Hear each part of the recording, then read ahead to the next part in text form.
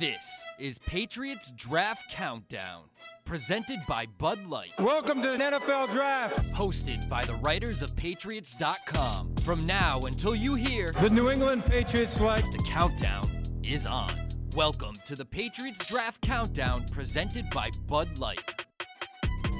Hey, what's up, everybody? Welcome to another edition of Patriots Draft Countdown brought to you by Bud Light. Easy to drink, easy to enjoy. Bud Light, the official beer sponsor of the New England Patriots. And guys, we're just about two weeks to go here. We're, we're getting a little redundant on the, the, the quarterback of it all, I feel like. Uh, those guys have been in for visits, so we're just going to catch you guys up quick here in the first segment on some latest news. And I guess top of the list is Kyle Dugger signing an extension. Not sure how much that really affects the draft, Paul. I think we all still kind of feel like they could maybe use a free safety, but but maybe a little bit. Yeah, I, I'm not sure it's a, a huge um, impact on the draft either, but it is, I think, a good sign because, I, and I talked about this a lot during the season last year, and clearly they thought it was important to maintain, you know, as much of that continuity as they could. But I thought Dugger in particular was one of those guys that had sort of you, you drafted and developed, second round pick, had some success, made some plays, had a really strong 22 season. Um, maybe didn't have uh, as many flashy plays um, last year as he did, but I thought it was a, a good message to sort of send to not just maintain, you know, that guy on the roster, but to say we understand, you know, how you guys think in there, and this is what we want to do. We want to reward you for being on board and being a big part of our team. It's not like an achievement award or anything. The guy's a good player. So I thought that was a you know a good sign, good good all around. I thought it was good for Kyle Dugger, but also a good message to send in the locker room. Yeah, and you hear some reports out there that he was pretty unhappy about the transition tag and getting that placed on him. So, just in terms of his happiness or his, uh, willingness or want to to be here, I think it's a good thing to get this extension done. Sounded like it it came to bre- together pretty quickly over the last week or so with OTAs and the spring program starting for the Patriots. But go back to the free safety thing real quick. I I do think that that it continues to be a need. I just don't love him playing up top like that, like he's Devin McCourty. I just don't really think that that fits his style. I don't really think it fits your guy Jabril Peppers' style either. So it's not necessarily that they need to bring in somebody that's going to play 85, 90% of the snaps, but can you get a Duron Harmon type in the third or fourth round that on third down and obvious passing situations, that's the player that plays the post safety role in the man coverage schemes, and you allow Dugger and Peppers to be closer to the ball.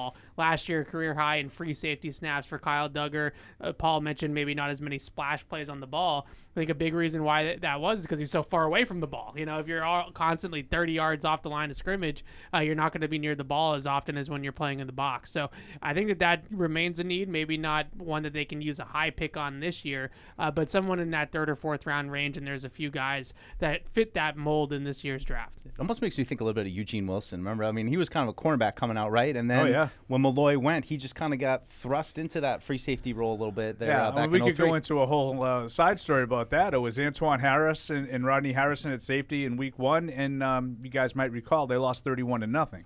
In week two, it was Eugene Wilson moving to, to safety, and the rest was history, as they say.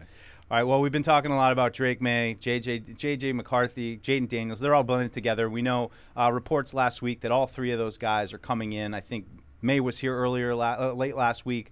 Daniels, I think, was here today, and, and Yeah. McCarthy's coming. So, guys, it continues to be kind of jockeying between those positions. Tease. I mean, it's kind of getting. I think we're getting a little worn out. You know, especially with the third overall pick, as Evan did his rant about mock drafts. There's just not a, really a lot to consider other than, I mean, for me, where I'm at.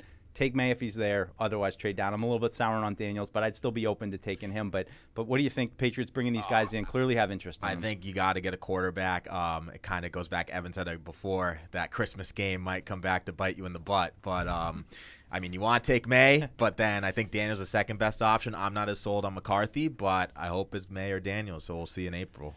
Yeah, I think what's interesting about the visits and really this entire pre-draft process has been a three-horse race for the Patriots. And Michael Penix, Bo Nix, Spencer Rattler need not apply, right? like they're not even in the conversation.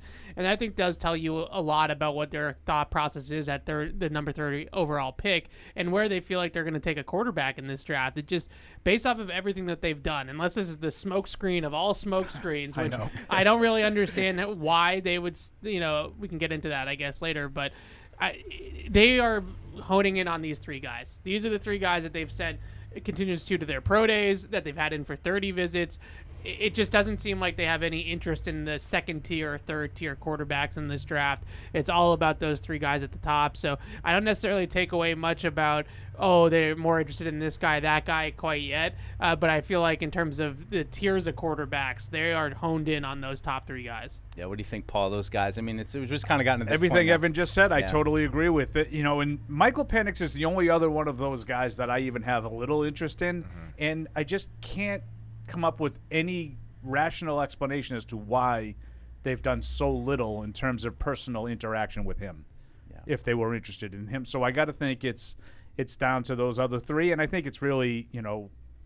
I, I think it's between McCarthy and and uh, and Maye because I think they feel like Daniels is going to go to Washington. So I'm kind of like Tease. I'm I, am not really sold on McCarthy. So to me, I've I've wrapped my, my mind around Drake Maye. You don't go four and thirteen to pick JJ McCarthy. That's what I'll say. But oh.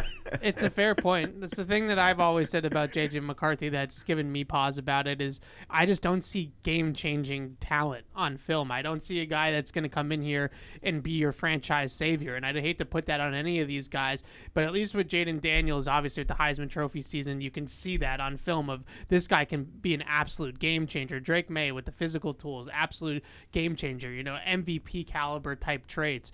I what are JJ McCarthy's traits in that category? I'm just not really necessarily sure. I I think that he's a great quarterback that for a, a lot of different teams. I just don't feel like the Patriots are one of those teams. All right. Well, you heard Evan mention Jayden Daniels. We got a packed show. We're going to go right now to Evan's film review of Jayden Daniels. You also talked to Derrik Klassen. Yes. Uh, a little bit about the quarterback. So it is still a quarterback jam show. And we'll finish it off, though, talking with the position groups everybody loves wide receiver, tight end, running back. So jam packed show. Check it all out. First up, though, Evan's film review of Jayden Daniels. Hello, everybody. Welcome into a very special Patriots Countdown Film Room edition. Today, we are going to break down Jayden Daniels, the LSU quarterback, potential target for the Patriots at three overall. And as we get into the film here, I want to talk about Jayden Daniels as a passer. I think all of us know what he brings to the table as a runner, one of the most dynamic runners in college football in his Heisman Trophy winning season. But what can he do from the pocket? So as we roll this play a little bit, you're going to see LSU get into this trips formation. If we pause it right here, you can see these two receivers right here in the number three spot. That's Malik Nabers. The number two spot, that's Brian Thomas Jr. We all know about those guys as well. This is a staple concept for LSU. They're going to run a crossing route here over the middle of the field with Nabers. Brian Thomas is going to run the slot fade, one of Jayden Daniels' favorite routes to throw. And what he's going to read is this post safety there in the middle of the field. If that post safety jumps this crossing route, he's going to get to the one on one to Brian Thomas on the slot fade, and vice versa. If the safety helps over the top of the slot fade, it's to the crossing route. So as we roll the play a little bit more, you can see the numbers go here into the middle of the field. It gives that one on one to Brian Thomas Jr. over the top. And watch this throw right on a dime by Jayden Daniels. That's the money throw for him. Those slot fade routes, you get into those one on ones down the field, and he can drop it right in the bucket. This next play here, what I love so much about this one from Daniels is that he stands in the pocket and he takes a big hit. This is the toughness that a lot of people talk about with this quarterback class from the pocket. So again, you got Nabers here, the bottom of the screen. He's going to run what's called a glance route, little skinny post there, and they're going to blitz here from the inside at the linebacker position, and that's going to create a free runner to the quarterback. And watch this anticipation and put the ball where the blitz is coming from. That's what you want to do as the quarterback. You see him layer that throw in the middle of the field, hit uh, Nabers there in stride, and watch the YAC take advantage of those yards after the catch, one of the fastest receivers in college football. The other thing I want to express that Jayden Daniels does at a really high level is full field progressions. This is a quarterback that can go all the way from first read to check down. On this particular play, they're running a staple for LSU here at the top of the screen. If we roll it a little bit more, we can see these routes develop. This is a smash fade concept here at the top. So you're going to have the hitch from the outside receiver, then you're going to have the fade route from the inside receiver there. And as we roll just a second longer, you can stop it right there. You see the hitch route here at the top of the screen, and you see the fade route. The defense has three over two here at the top of the screen. So that's covered, and Jayden Daniels recognizes that, and he's going to get to this backside dig route. And one of the things I like so much about this play is that he started in his drop by looking over here on the left side, and then the throwing hallway transitions to the middle of the field, gets his eyes, hips, feet, all pointed towards this dig side, this dig route here on the backside. Throws it right in stride. Pick up some yards after the catch. That's a full field progression from Jayden Daniels. That's all over his film at LSU. So, a couple of positives to also talk about here. Obviously, the running ability. You can turn on the highlights on YouTube and see that. He's one of the most dynamic runners I've seen come out of college since Lamar Jackson. But on the other side of things, we do have to talk about this number right here and 210 that's if he weighs in at 210 at lsu's pro day he's going to be just okay. Some people think that he's closer to 195 200 we'll see. That number is going to be a big number for jayden daniels. He has a wiry frame. Six foot four is good height but he's very wiry he's very lean that's going to be a question mark of whether or not he can hand up, handle NFL contact. The last thing I would say about him, he lives a lot on the boundaries. A lot of those fade routes, like the first play that we showed you, that's a big part of his production at LSU last year in his Heisman season.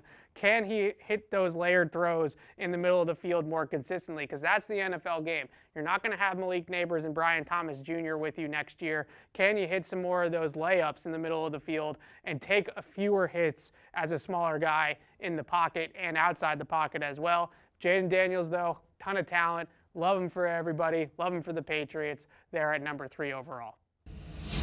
All right, folks, it's maybe the episode you've been waiting for. We still got quarterbacks to do, but, but today we're going to rifle through running backs, tight ends, and yes, wide receivers, all positions of need for the Patriots. Maybe tight ends a little bit less so after signing Austin Hooper and Hunter Henry there at that position. But let's start off with running back guys in this position. Start with you, Evan. That you know it's kind of been devalued a little bit, and I don't think there's really a high end, uh, you know, number one kind of guy. But there are a number of later round guys. Why don't you give us though, some of the top round guys that maybe maybe maybe little bit too soon for the Patriots? Yeah, so this is not a particularly strong running back class at the top, like you said. There's no Christian McCaffrey, there's no Saquon Barkley, there's not even a Jahmyr Gibbs in this class. this is uh, or Bijan or one of those guys. Uh, this is a day two and three running back class. Um, I think the number one running back consensus for the most part is Blake Corum from Michigan. Uh, you also hear a lot of Benson from Florida State as well. He's up there too. Uh, but those two guys are really the start, I would say, uh, probably in the third round. May- maybe one of those guys sneaks into the back of the second round just because somebody wants to jump ahead and, and pick one earlier uh, than everybody else will. But at some point in this draft, there'll be a run of a run of running backs that will all come off the board and those guys can all be a part of a committee and be, you know, useful players at the NFL level. They're not again, they're not going to be bell cows. They're not going to be uh, the that stud running back. Uh, but if you're talking about getting a, a tag partner for Rhamondre Stevenson, you know those exist in this draft in droves. Like there's a lot of those guys, but none of them really are looked at as like difference makers or game changers. What do you got, Paulie? Any of these guys strike your fancy? Yeah? I mean, obviously, I like Corum a lot, but um, I agree with Evan in terms of you know where does it make sense for the Patriots. I also like uh, Jonathan Brooks a little bit, although kind of one year of production, so maybe some question marks there. There were guys that were lead backs. There were guys that you know that certainly carried the load, but I think you know like Corum's a guy that you look at him, you're like, oh, he must be a passing back because he's not very big, but he is that kind of a lead guy, and I like the way Evan talked about it, a tag team guy for Rhamondre Stevenson.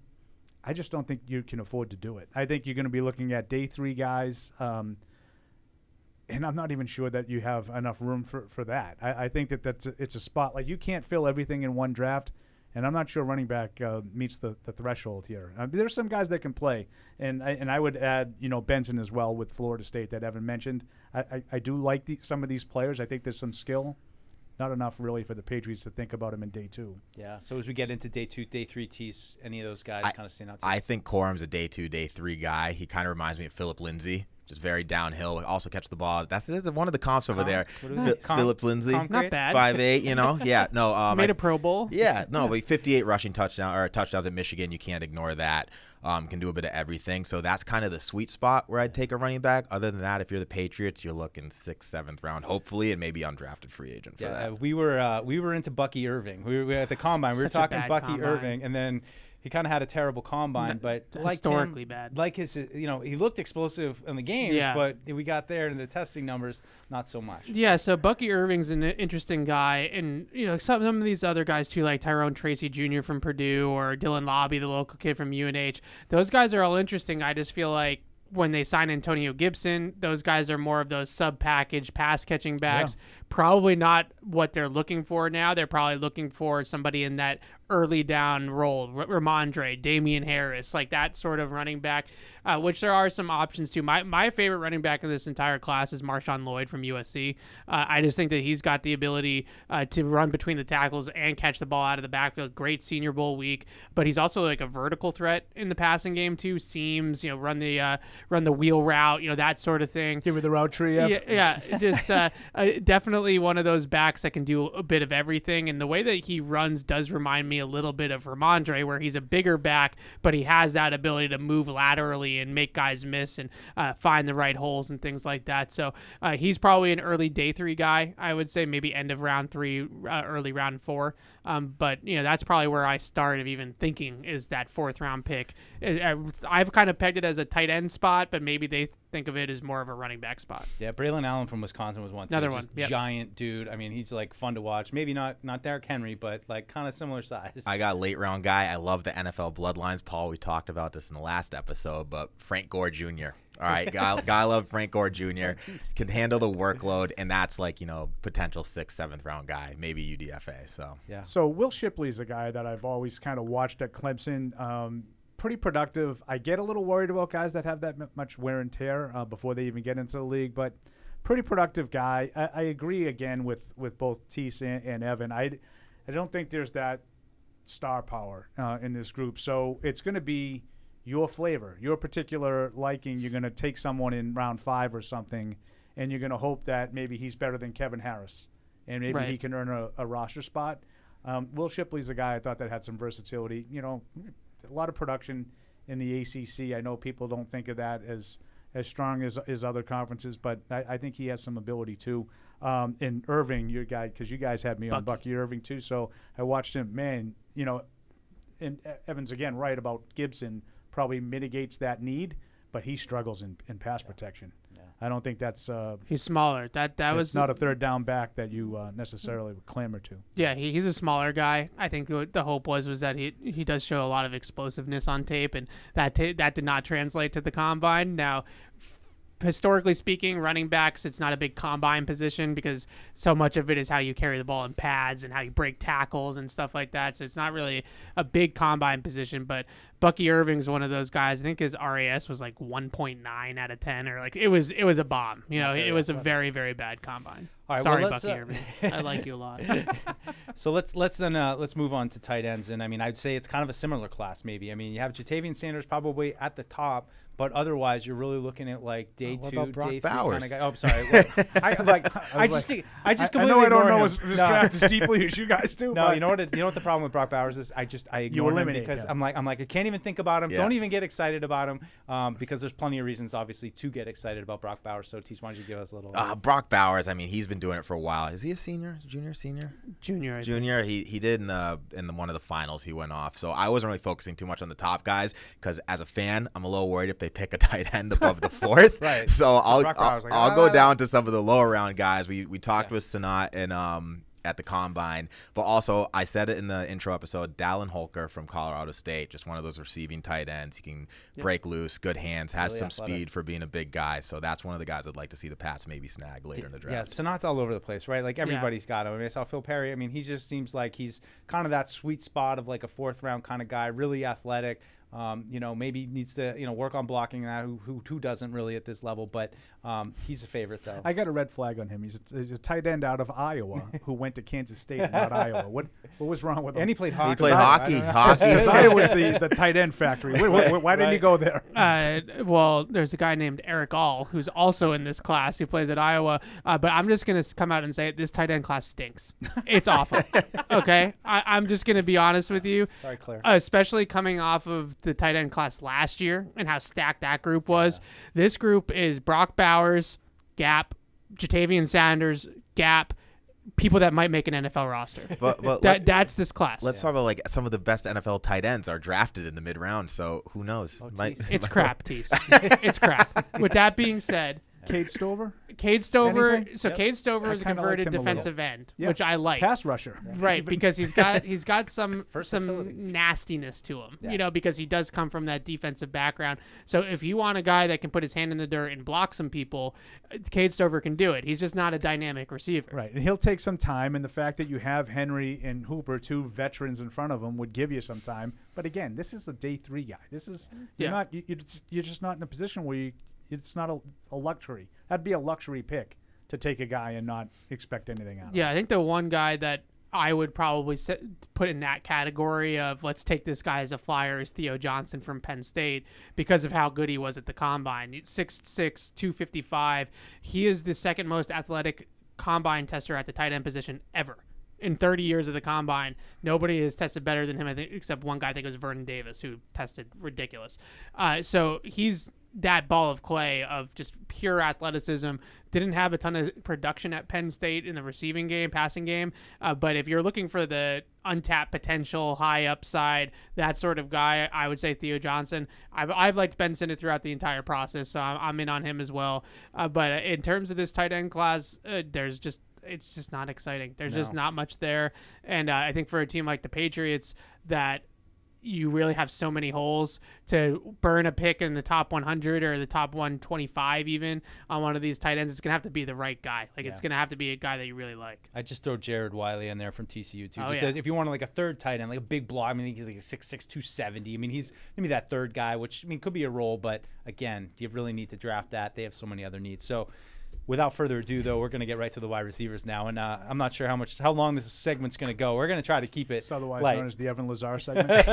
right. Evan, go easy on these guys. No, but we've been look, we've we've been talking and, and we were saying before, like we've talked Marvin Harrison, Malik Nabers, Rome Odunze, um, those kind of top Yes, three. yes, yes, yes, yes. we like yes. them all. Uh, there's plenty of analysis out there. I mean, we can touch briefly upon those guys, but really, it's more about more realistic options for the Patriots. Of course, like they could go sideways and take Harrison or Nabers at the top. We don't really think that's going to happen, but you know, I'll I'll tee you up first, Evan. Though, as we get down, you know, into that like late first round, early second round, that's where the Patriots maybe are going to be picking, or they could trade up.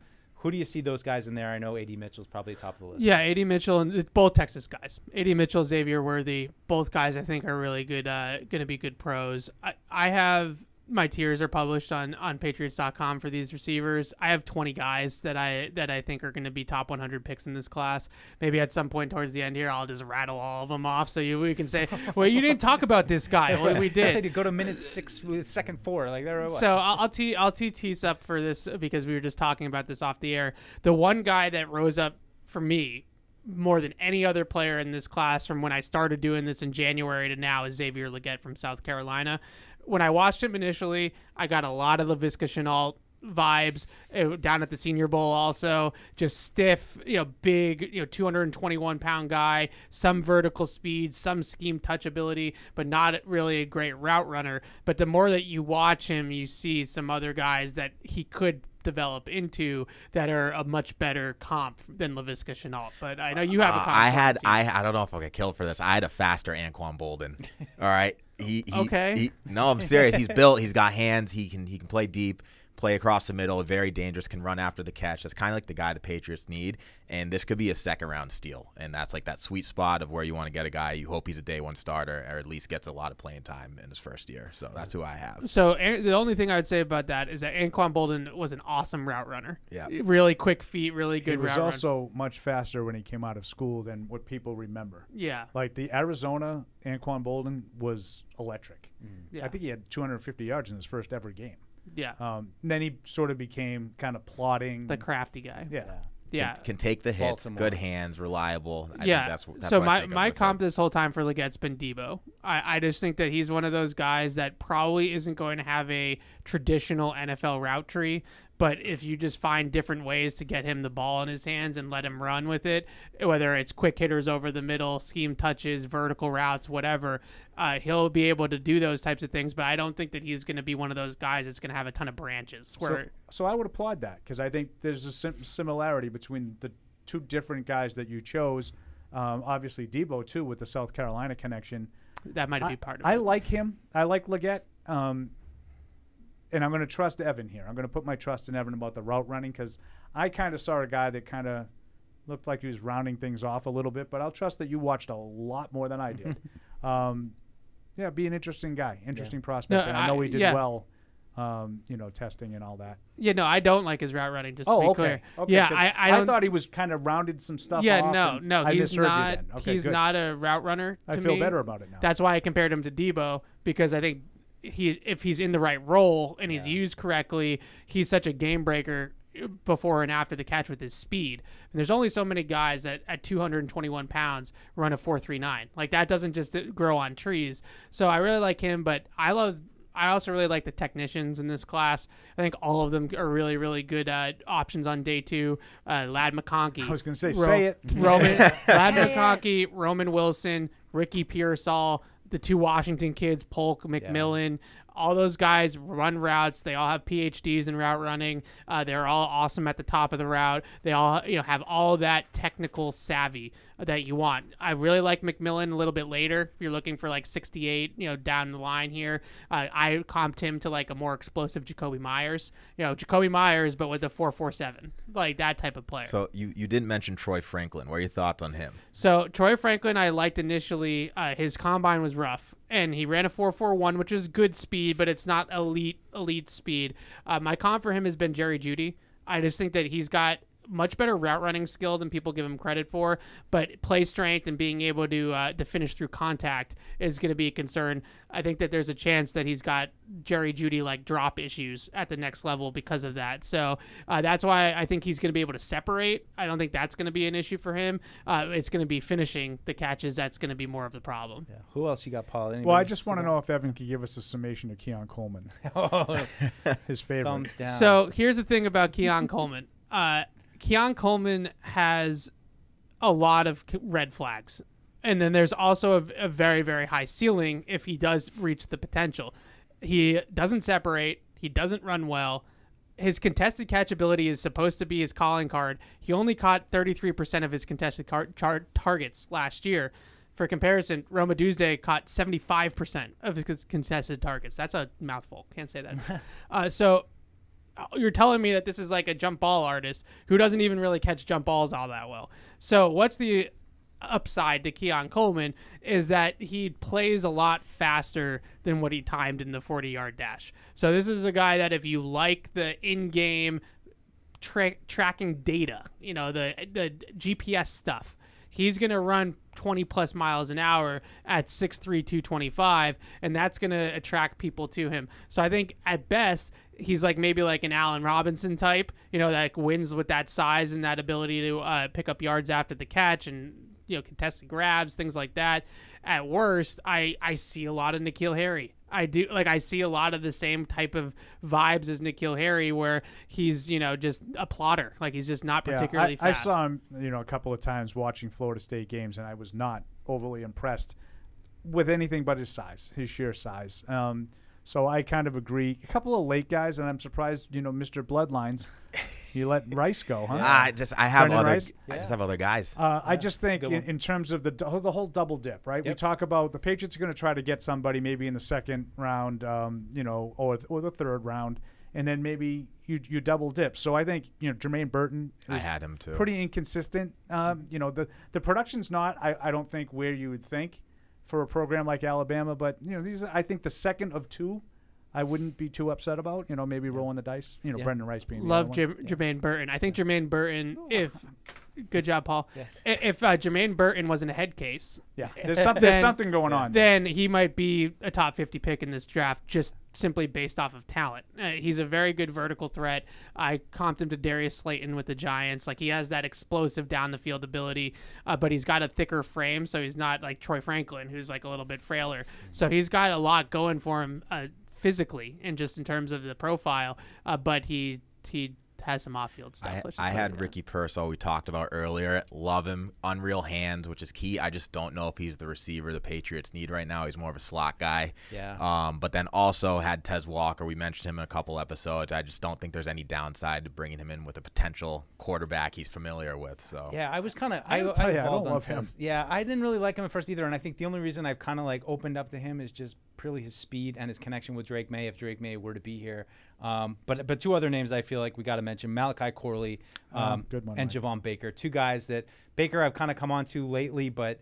not the fastest guy, but inside outside. And you know, you said it, Tease, as like someone like Brenden Rice, like has some outside potential. And I think when you're getting down, Patriots have a lot of interior receivers right now. And as you get later into these picks, like who can play on the outside? Who can get off press? Who's got speed enough to, to draw some coverage with him? So uh, I don't know if those two guys are. And Baker has some inside outside flexibility, but you know, Corley is again kind of a poor man's. These are the guys I'm kind of drawn to. Laviska Shenault, you know, you're you got those Deebo vibes a little bit. because you know, you know, you and I were the only two Laviska Shenault fans there were. Laviska Shenault were is, wrong. is my comp for Corley. Yeah. Because uh, Corley, his average air yards per target was 5.5 yards. Oh, like this is the line of this is a a of them, guy that Yeah. caught like a million screens, a million Yeah. slants, a million crossing routes, you know, over the middle of the field, and he's a running back, you know, with the football in his hand. So just let him run with it. I like the Baker shout. A good good player. I think you know Alabama transfer goes to UCF for more opportunities. He's a good player. Um, there's one other guy. Oh, Johnny Wilson from Florida State is the uh, is the last guy that in my top 20 that I don't think that we mentioned by name, other than you know. BTJ and some of the other guys that are going to go at the top of the draft. Uh, but Johnny Wilson is an interesting player, six six two thirty 6'6", 230 monster, uh, but runs routes. You know, can run routes pretty well. He's not uh, he's not stiff. He's not you know Kelvin Benjamin. You know, he's a guy that can get in and out of a break and and run some routes and do some different things. So uh, this is a that this is one of the best receiver classes we're ever going to see. It's it's honestly that good. It's top heavy. It's de- it's deep. Like there's going to be a Puka Nacua in this class. I'm sure that's going to get taken in the fourth or fifth round. That ends up being a stud too. Uh, it's an impressive class. Well, you can just tell by how much we're talking about. Anybody there? Anybody else? Paul, we, we didn't mention Tease. Anybody? No. We did. I mean, Oh, I feel like we covered so much, and that you know speaks to your point, Evan, of how deep of a class this is. It's a huge need for the Patriots. Paul and I have been going crazy for about five years now that they haven't hit on one of these guys. It's time. They need to at least take one of them, maybe do the double dip, as Paul said. So, plenty there to digest there at the weapons positions. All big needs. You can find him on Bleacher Report and Reception Perception with his QB charting. He's Derrik Klassen. Derrik, been a big fan for a long time. Excited to talk to you about these quarterbacks today. How you doing? Uh, first of all, I appreciate that, and second of all, I'm doing great, doing doing good. It feels uh feels like we're kind of really getting into that like real end push of the draft season, so it feels good. Yeah, right. Uh, the hay is almost in the barn, as we, we say around here with the draft. And I've been uh, reading your your charting on quarterbacks.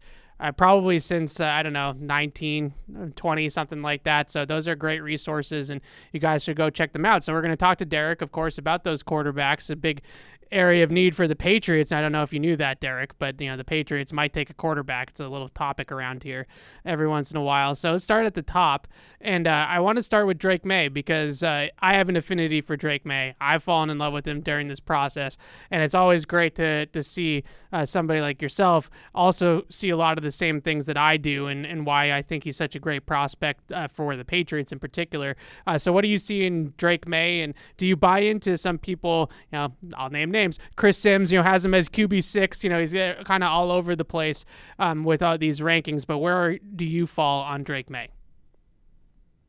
I, think he's fantastic. Like I think he's a truly unbelievable prospect. Like we've done this whole thing with Caleb being like a you know, one of the best prospects of a generation. And I think he absolutely is. I mean, we're probably not going to talk about him a whole lot here because there's no shot the Patriots get him. But Yeah.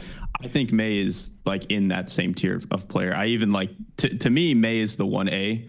Um, I will say part of that is just like my personal affinity for certain traits at quarterback. Like I think, I mean, Maye is just obviously much bigger. I think um, some of what he can do as a designed runner, I think, is a little bit more valuable than Caleb. And then to me, what really, really puts Drake Maye over the top. I mean, there's a lot of reasons, and um, um, we'll touch on all of them. But to me, it's just the way that I think he handles the pocket and is able to throw with bodies around him is like really, really special. I think it's the type of stuff you see from a lot of the best quarterbacks in the in the NFL already, whether it's Josh Allen, Justin Herbert, um, even Dak Prescott. I think has this quality when he's throwing around bodies in, in, in the pocket and stuff. I think Maye has that to him. And then when you combine that just on top of like the raw arm talent that he has, where he's just able to put the ball in in places that seem almost impossible for a quarterback. And I know people are going to harp on him for like the consistency, and I do think he has a couple of sprays a game, but I think what you get out of him on most plays, and especially on his best plays,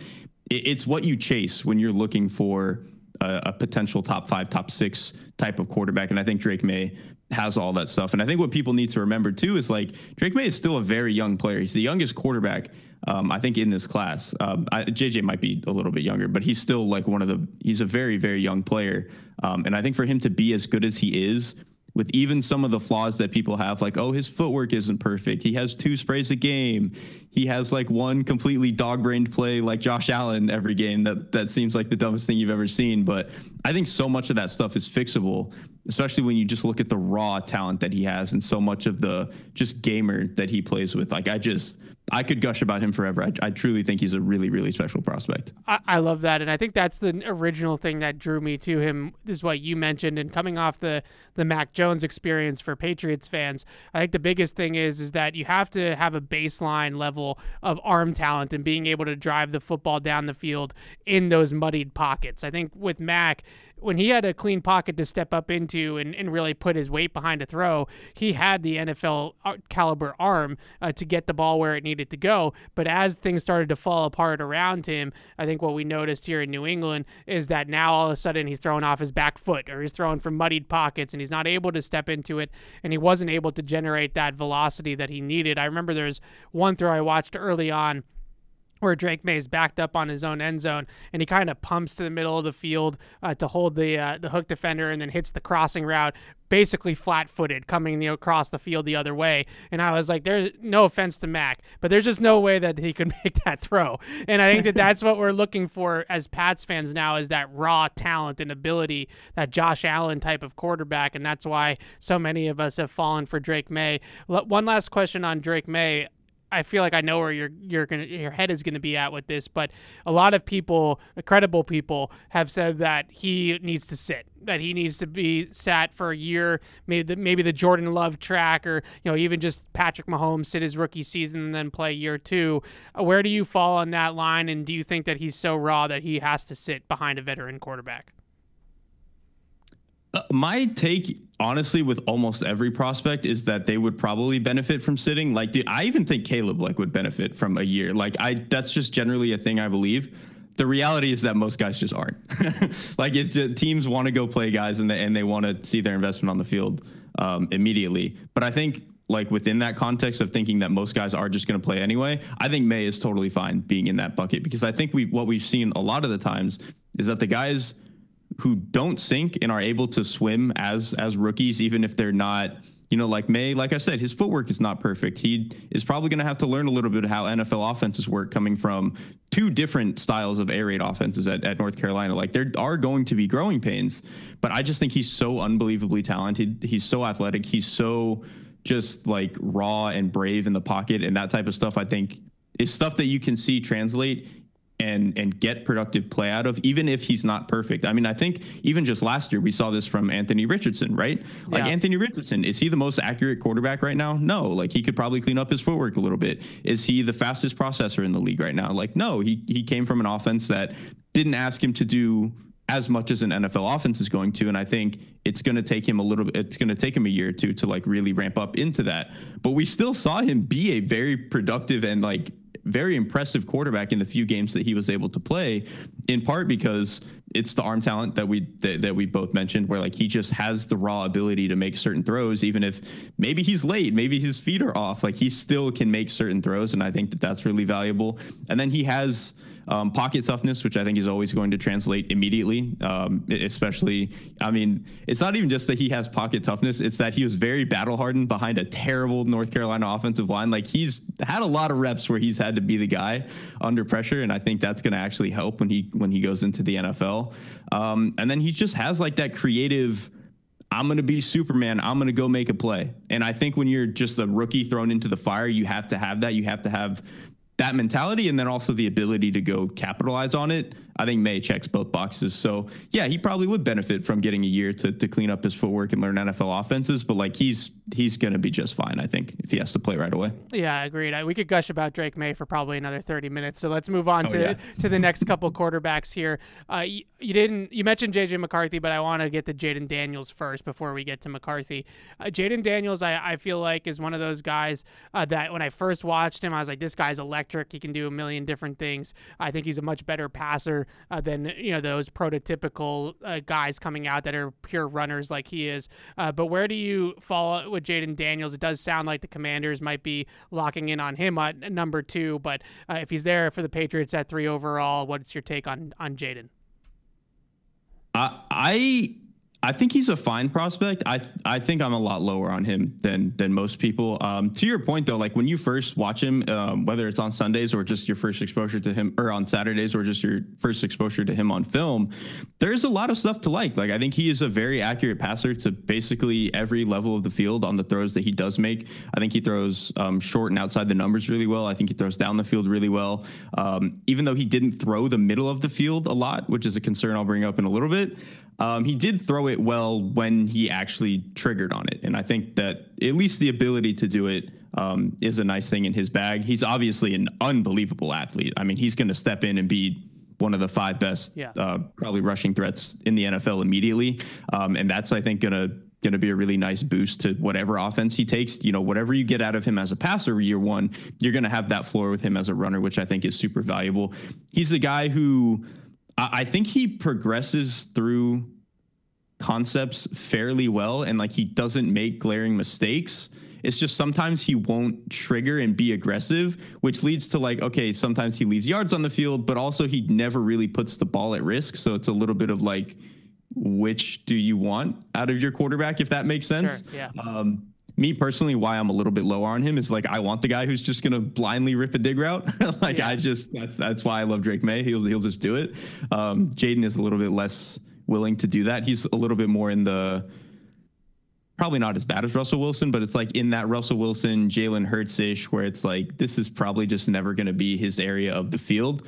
Um, and then the other thing with Jayden that I think has turned me off from him a little bit is I don't think he manages the pocket very well, and I don't think he makes plays. Um, I don't think he makes throws off script very consistently or very well, and he's not very willing to do it. Like he's the guy where okay, one to two to three in in a clean pocket, he's going to make a good throw for sure. There's no doubt about that. I think when he gets pressured and gets moved off his spot a little bit, he is very quick to like, okay, the play's dead, I'm running, and Yeah. that's that's great at the college level. I think in the NFL, it's really really hard to get away with being that way. I think the best NFL quarterbacks are guys who, okay, initial play's dead. I'm going to get outside the pocket and look to throw first. I think you even see this from like people who are comparing him to Lamar Jackson. Lamar Jackson is very much like outside the pocket, eyes are up. He's looking to throw. He'll run if he has to, but he's very much a guy who's looking to, to make throws outside of the pocket. With Jayden, I just don't see that as much. And I think that's a really hard thing to get a guy to do. So that's kind of some of my concerns. I, I like I said, I think there is a lot to like. I'm just a little bit more hesitant on or a little bit more weary of what his ceiling is, I think, than some other people. Yeah, I, I think you brought up a lot of really good points. The the thing that stood out to me is that there's this play against Florida where he's got Malik Nabers jumping up and down in the middle of the field, asking him to throw him the ball, and he passes it up wide open dig route in the middle of the field, and he ends up running for 50 yards on the play. He just takes off scrambling and he runs. And on the one hand, it's like, wow, that running ability is dynamic. That's difference making. But on the other hand, on in the NFL, you'd probably rather him take the dig route, right, and and let the playmakers do the work instead of having uh, him have to do everything himself. So that was one of those plays that I felt like was the perfect encapsulation of the yin and the yang with Jayden Daniels, where he's gonna pass up some things in the middle of the field that other quarterbacks or uh, guys in the league will, trigger on, like you said. But then he's also going to be able to have that tantalizing running ability. So it's like, you know, how, how do you pick on him too much for it uh, when he just broke off a 45 yard scramble?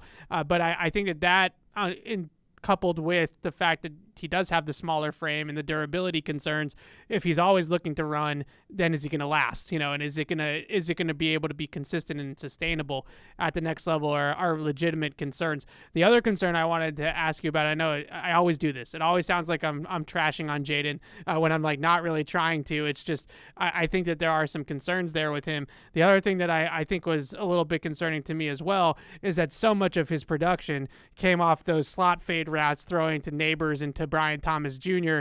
And where are his layups in an NFL offense? And where's the easy yards for him, especially if he comes to a place like New England where he might not have those outside winners. You know, he might not get step into an offense right away with the Patriots where he has two you know premium elite receivers at, on the outside to make those plays.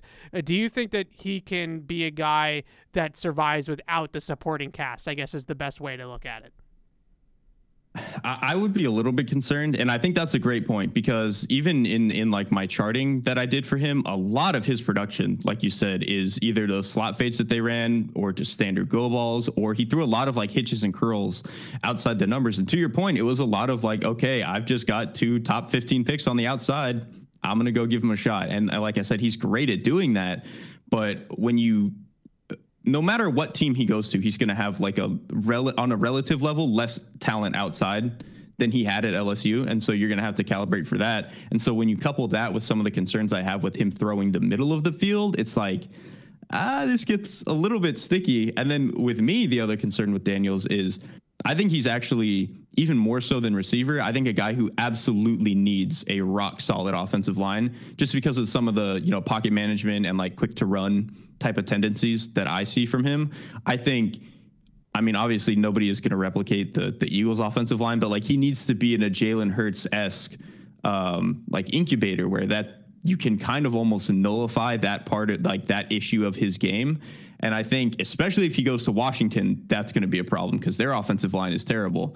Um, and then I think even in New England, it would probably be an issue because their offensive line is a little bit better than Washington's, but I think also still still very much an issue. Yeah, yeah, it's it's a good point, and uh, you know that's why I've gravitated towards Drake Maye throughout this process is I just feel like for the Patriots, it just makes more sense. It fits together a little bit better. But I'm glad you brought up the things about Jayden Daniels as a processor because I do think he is much better uh, getting through progressions than some people would think at that type of quarterback. And I, I also think that, uh, you know, even though he doesn't have the biggest of arms, uh, the throwing motion and the mechanics of his throwing are really, really clean. Uh, maybe even cleaner than Lamar coming out in some ways, and just in terms of the footwork and the mechanics of his release and things like that. But uh, let's uh, wrap this up uh, with two quick questions. One on JJ McCarthy.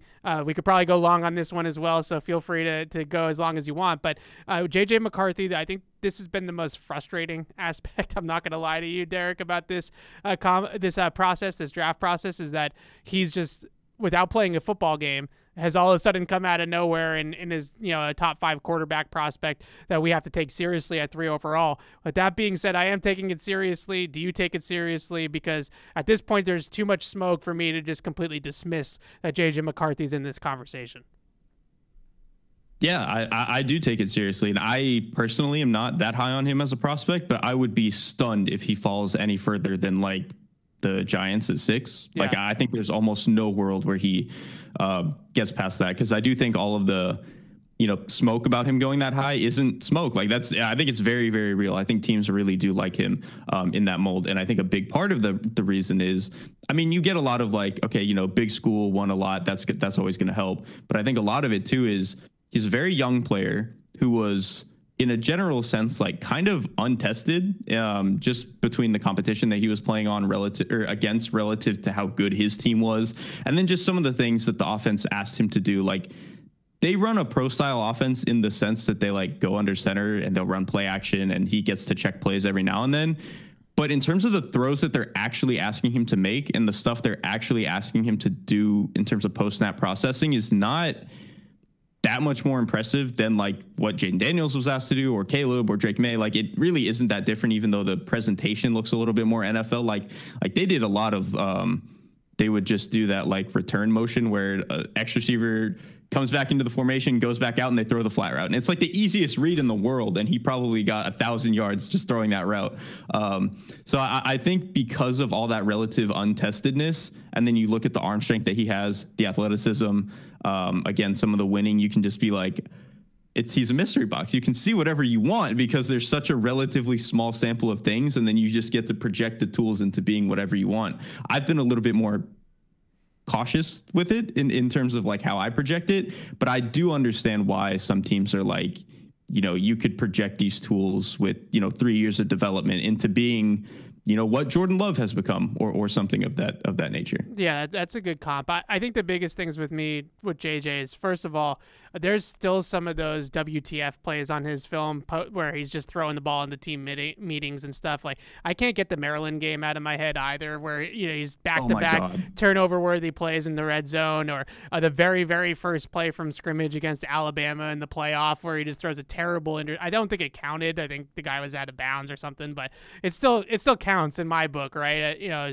in PFF's turnover worthy plays, those still count. So you look at those types of plays; those are are concerning. The other thing uh, is that he has that wide, elongated base that he throws from to really drive the ball down the field. And I wonder, you know, going back to the Mac Jones thing that we were talking about with Drake Maye, when those pockets are more condensed and there's more bodies around them, there's more people flying around, is the arm strength going to be as impressive as what it seems to be uh, from those Michigan pockets? Like, I feel like we had to adjust with Mac to Alabama pockets. Like, these are Michigan pockets that he's throwing from uh, uh last year. So, uh, where do you kind of grade his physical tools? Because I feel like I'm a little bit lower on like his arm talent and, and his even his mobility at, at times than other people, where other people talk about him on the same plane as Drake Maye when, when it comes to those types of traits as it as it pertains to Drake Maye, yeah, I don't think he's close to as talented as Drake Maye. Like, um, and that is not even really to take away from JJ. That again is just like how much I think Drake Maye is super talented.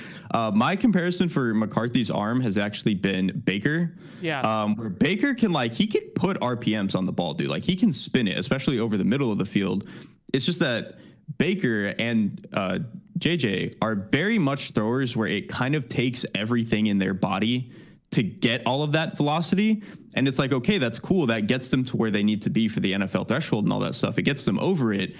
But because they're sacrificing, like, you know, putting all of this effort into the velocity, they kind of lose a little bit of control. And I think you especially see that with McCarthy when he's either throwing outside the numbers where you need like a little bit of air under the ball, get some get some arc on it when he's throwing like corner routes, um, some of the deep outs, all that sort of stuff. And then every now and then you can see it on like the crossing routes, like the deep overs they would throw in the offense where maybe it's trail man coverage and you can't just pin it on a guy. You've got to like put a little air under it, let your guy, you know, put the ball over the defender. I think sometimes he can struggle to do that. So I do agree in the sense of like physical talent, he's more of like a B, B plus than like in the A plus range, like Drake and Caleb and all that stuff. And then athletically, probably not ever going to really be a guy that is a serious run threat for you. It, it could be like, you know, where one or two times a game you you run a zone read on you know fourth and one or whatever. I think he could probably do that. But generally, I think he's more just a guy who gives you enough enough athletic ability to get outside the pocket and make plays. But he's not going to be one of those guys who is like a serious, serious rushing threat every week, the way that you know Jayden or Drake or Caleb are going to be. Yeah, I agree. All right, last one for you in terms of the rest of the quarterback class, I feel like that's the best way to put it. Uh, who is your favorite out of the next tier of Penix, uh, Nix, maybe even Spencer Rattler? Do you have a favorite out of that group? I go back and forth between Nix and Rattler um, because they're just two completely different flavors. Like I, I, grade them, I have the same exact grade on them for for Bleacher Report. It's just that one uh, Nix Nix is more of like, I know what I'm getting here. Yeah. I know I'm getting a guy who um, pretty accurate to almost all levels of the field. Um, has enough arm strength, even though it doesn't really wow you. I think he's a good enough athlete to actually be more of a designed runner than even like JJ, who we just mentioned. I think he can be in the Daniel Jones, you know, get 500 yards out of this um, type of runner. I think he's a guy who generally doesn't make mistakes, gets the ball out of his hands cleanly. Um, he can do all the RPO, you know, quick game stuff. To me, he's more like in the. I think if Bo Nix becomes like Andy Dalton, that would not really be a, a surprise to me, and I'd, I'd really have a hard time seeing him be like terrible. So I I think in the if you just want a guy who you know what you're going to get, Nix is totally fine. I think if you want the flash, Rattler's the guy. Uh, Rattler's just like, I, I think I said something like this on Twitter, but like to me, the two guiding principles for like a really, really good quarterback prospect are arm talent and pocket management. Rattler's got it, man. Like arm talent. I mean, I don't even need to really talk about that. Like I think we've all seen Spencer Rattler throw a football, but the pocket management stuff really impressed me when I went back and charted him because that South Carolina offensive line, if you guys haven't seen it, very bad. Like it's it's terrible. I don't know what uh, what was going on there. I think someone tweeted a thing where like I think in like 10 of 12 games they had a different starting five up front, which is just that's not how you want to operate in the SEC. Especially in college, Um, you don't see that very often. Yeah. Right. And, and so I think for him to to have to deal with that was just really tough. And it obviously led to some just terrible plays because when you're behind on the scoreboard and you're under that kind of pressure, you're just naturally going to make bad plays. But I think you also saw a lot of really, really good ability for him to move around the pocket, keep his eyes up, keep a firm base, throw from some really weird and tight uh, platforms. Like we were just talking about with like, you know, JJ and Jayden, that might be an issue. But with Rattler, I don't think that's a problem at all. I think he can make any throw from any platform, no matter how crowded it is. So I, I think there's definitely some consistency issues you're, you're going to have with Rattler in terms of accuracy, in terms of maybe some of his scattered decision making. But man, if you can get him into, I think, a little bit more stable situation than he had, the raw talent is just, I think, leaps and bounds better than any of the non top four guys. I love it. I love it. He's Derrik Klassen from Bleacher Report and Reception Perception. Go give him a look on Twitter as well at QB Klass. And Derrik, I really appreciate you doing this. It was a lot of fun. Yeah, thank you so much for having me on. This was great. All right, that's going to do it for this edition of Patriots Draft Countdown. Only two more shows left. We're going to wrap things up with a live show there on April 24th. Full hour long edition. I don't know, what- maybe we'll have some more news by then, but certainly a lot of build up here to the 2024 draft. It's a hugely important one for the Patriots. So just two more weeks, two more episodes to go. We'll see you next time.